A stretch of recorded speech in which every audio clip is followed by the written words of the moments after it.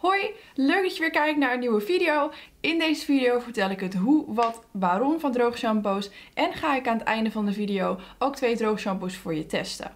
Dus als jij benieuwd bent hoe je jouw haar in een hand omdraaien weer fris en fruitig kunt krijgen, blijf er vooral even kijken. Goed, eerst ga ik vertellen over het wie, wat, waarom van uh, droog shampoo. Ik gebruik al heel lang droog shampoo en dat gebruik ik vooral op de dagen nadat ik het heb gewassen. Dus als ik het op maandag heb gewassen, dan gebruik ik het meestal op dinsdag. Want ik heb van mezelf heel stijl en sluik haar. En als ik het dan een dagje niet heb gewassen, dan heeft het nog wel eens de neiging om als een vaatdoek zo naar beneden te vallen. Ja, en daar hou ik dus niet van. En daarom is droog shampoo het perfecte alternatief voor een wasbeurt. Een andere manier waarop je droog shampoo kan gebruiken is voor het stylen. Dus stel dat jij met feestdagen hele mooie krullen wilt hebben. Dan kun je in je droge lokken ook wat droog shampoo spuiten. Om te zorgen dat de krullen wat langer blijven zitten. Maar daar zal ik binnenkort een video over maken rond de feestdagen. Voor nu gaan we eerst even duiken in twee verschillende droog shampoos. Waarvan ik de ene aan deze kant ga testen en de andere aan deze kant ga testen. Nou, zoals jullie kunnen zien, ik heb best wel lang haar. Ik heb al sinds jongs af aan best wel lang haar. En ik ben één keer naar de kapper geweest met het idee van, oké, ik wil mijn haar echt tot hier. En toen zei ze tegen mij, nee, dat gaan we niet doen, want je haar is hartstikke mooi. En eigenlijk loop ik dus nu al 23,5 jaar met hetzelfde kapsel. Ik heb eigenlijk al best wel lang het idee om een pony te knippen of gewoon ja, wat losse plukjes hier aan de voorkant te laten knippen bij de kapper. Um, alleen ik heb nog niet echt de knoop durven doorhakken. Dus als jij nou zoiets hebt van... God, dat staat je wel. Of dat moet je juist niet doen. Of juist wel doen. Laat het hieronder in de reacties dan even weten. Want dan weet ik ook uh, waar ik aan toe ben. Ik ga nu even een puntkam pakken. Even kijken waar die is gebleven. Puntkam! Where are you? En met deze puntkam ga ik eerst even een scheiding maken. Precies in het midden. Ik heb haar en vandaag gaan we er dus iets van droog shampoo in doen. En ik heb hier de Bad Head Tiggy OB Weave droog shampoo. En die ziet er zo uit. En de andere die ik heb is de Girls Only Dry Shampoo met extra volume.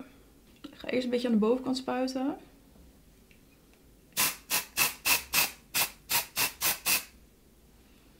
Oh, de geur is wel echt heel lekker van deze. Het staat niet op wat voor geur het is, maar oeh, ruikt echt gewoon naar een hele lekkere shampoo.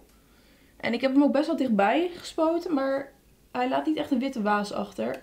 Meestal wat ik dan doe, is als ik droogshampoo gebruik, pak de bovenste laag van mijn haar en spuit ik het... Oh. oh my god, nu laat hij wel echt een witte waas achter. Oké, snel. Hoop dat het weggaat. Oh ja, Gaat gelukkig heel makkelijk weg. Niks meer van te zien.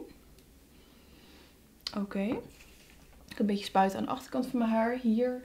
Eigenlijk op de plekken waar je haar verbonden is met je hoofdhuid. Dus spuit ik de droog shampoo. Want ja, daar is het vaak het meest vet.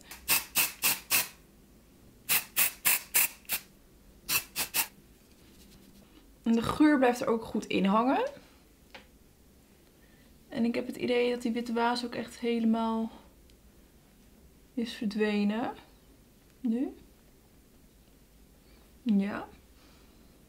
Ja, het is gewoon uh, alsof ik gewoon net uit de douche kom. Qua deze kant. Dus gooi je deze naar achter. En dan gaan we nu verder met de bad hair. Ook weer eventjes schudden. En dan gaan we ook even deze testen op geur. Textuur. En even kijken of mijn haar nog vet lijkt.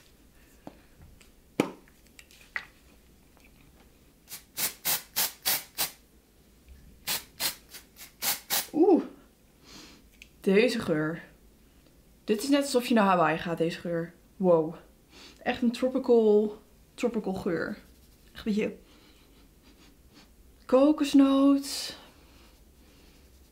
Ja, ja, tropisch gewoon. Kokosnoot. En nog allemaal lekkere dingen. Tropische vruchten. Nou, deze heb ik ook best wel stevig gespoten. Maar van deze is er bijna geen witte waas zichtbaar. Misschien heel lichtelijk als je goed kijkt.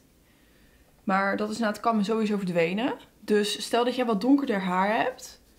Dan is deze wel iets beter dan die andere, denk ik. Want ik heb blond haar en dan zie je een witte waas wat minder snel. Heb je wat donkerder haar, des te sneller je de witte waas van de droog shampoo ziet.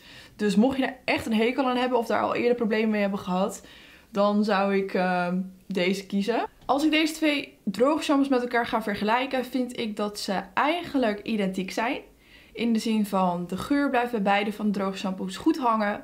De textuur is gelijk. Het is niet de textuur die ik het liefst zou willen hebben van droog shampoos. Ik hou echt van wat dikkere, wat stroevere structuur. Maar deze droog shampoos houden eigenlijk je haar zoals het is na een eerste wasbeurt. Dus eigenlijk is dat ook wel gewoon prima. Een ander iets wat ik wel vind is dat de bedhead hier aan de voorkant bij mij een beetje in strookjes valt. Niet, maar ik heb in ieder geval nu twee keer droog shampoo ingespoten. Terwijl het bij deze al gelijk een eerste keer goed was. Dus dat is misschien wel even een dingetje. En dan hebben we natuurlijk altijd nog de witte waas, die het grote verschil maakt. Bij deze was de witte waas eigenlijk helemaal niet aanwezig. En bij deze, als je te dichtbij spuit, dan moet je echt zorgen dat je niet zo heel snel je huis verlaat. En even de kammer doordoet voordat je dus uh, de deur uitgaat. Maar als je dat geen probleem vindt, dan is het natuurlijk gewoon een hartstikke goede droog shampoo. Is jouw voorraad van droog shampoo op dit moment ook helemaal op? Of heb je droog shampoo nog nooit gebruikt en ben je hartstikke benieuwd om het nu eens uit te proberen? Neem dan even een kijkje op Luxe Plus. Want wij hebben naast deze droog shampoos ook nog veel meer andere droog shampoos. En mocht er nou een droog shampoo zijn die je heel graag wil kopen. Of waar je heel graag een review over wil zien. Of een ander product, mag ook iets heel anders zijn dan droog shampoo. Laat het in de reacties dan even weten. En dan zie ik jullie in de volgende video. Doeg!